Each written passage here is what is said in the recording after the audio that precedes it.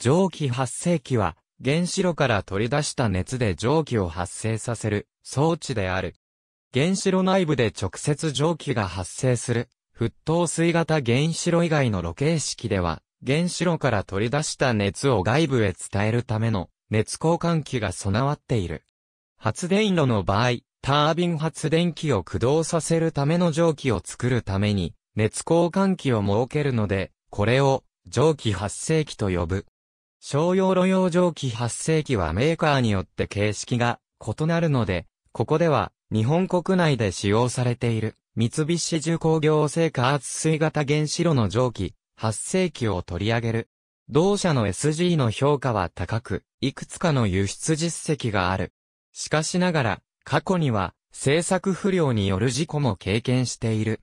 三菱重工製 SG は、縦桶、有事管式再循環型で、直径約5メートル、全長約20メートルの円筒型をしている。SG 下から内部に向けて逆 U 字型の電熱細管が甲板を介して約3300本溶接されている。中ほどに二次側入り口があり、発生した蒸気は、気水分離器、湿分分離器を経て、最上部から外へ出てゆく。一次冷却水が、下から入り U 時間内部を流れて下から出ていく間に二次、冷却水と熱交換する。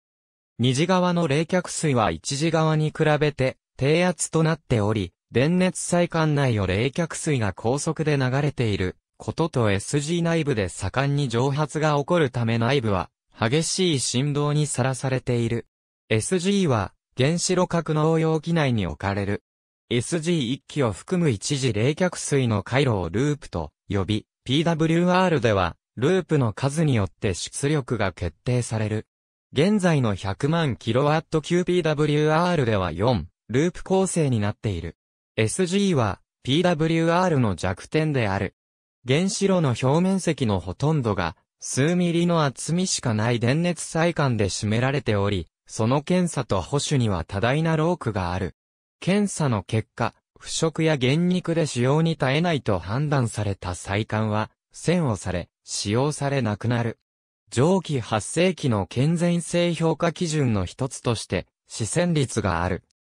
日本国内で初期に稼働した PWR では、やがて視線率が1割を超えるような状態で、運転されるものもあったが、熱効率の悪化による出力低下により低角出力を保てなくなったことと、新規立地が難しくなり、原子力発電所の建て替えが進まなくなったため、電力各社は既存原子炉の延命を図り、初期に稼働した原子炉の古い SG のいくつかは交換されている。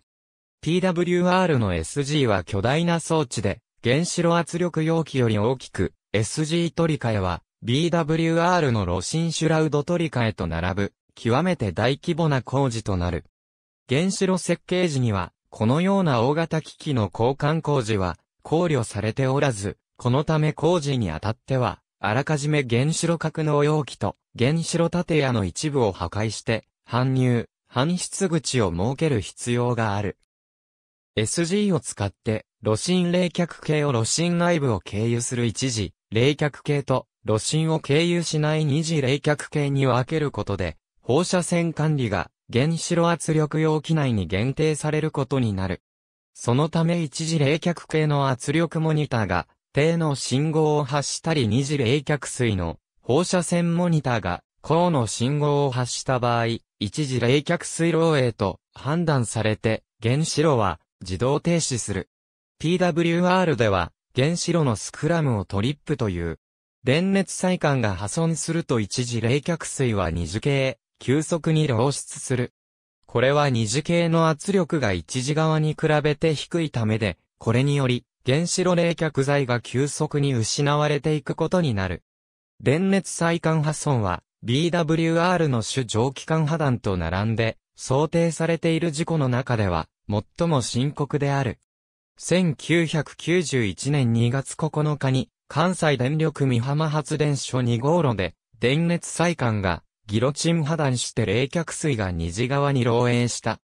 一次冷却水の漏出により、加圧気圧力低の信号が発放し、原子炉は、トリップ、続いて非常用炉心冷却装置が自動作動して原子炉は冷却され安全に停止した。この事故は国内の原子力発電所で ECCS が動作する最初の事例となった。その後の調査では、再破破断の原因は SG の製作不良による高サイクル疲労によるものと判定され、メーカーである三菱重工による損害賠償が行われている。三浜2号炉を含む関西電力のいくつかの原子炉では、事故の後、順次 SG の交換が行われた。なお事故を起こした三浜2号路の SG は、三浜発電所構内に展示されており、一般に公開されている。ありがとうございます。